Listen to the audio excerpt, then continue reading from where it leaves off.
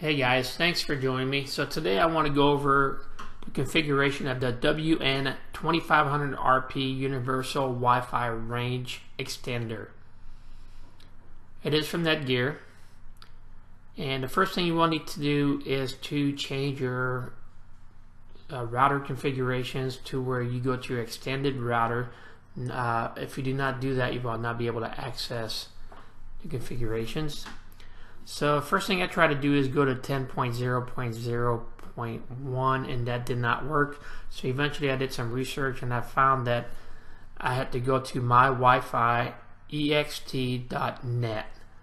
Once I was able to access the Netgear Genie uh, configuration area, I, I, had to log in with the password, which is it's a default password, which is admin, and the password is password. The first thing you have to do is select your current configuration for your router, which is either 2.4 or down below. Also can select the 5 gigahertz.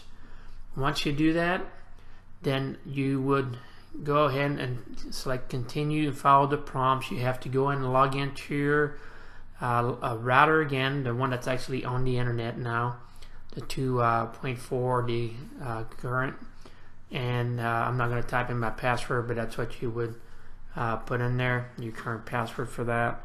And then you select continue and then you just follow the prompts.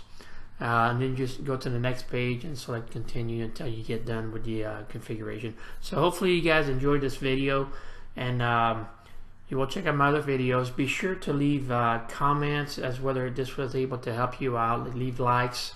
And um, Look at the description down below to see if there's more information you're able to find on some other videos, either regarding this or other subjects as well. So guys, thanks again for watching this, and I'll see you on my next video.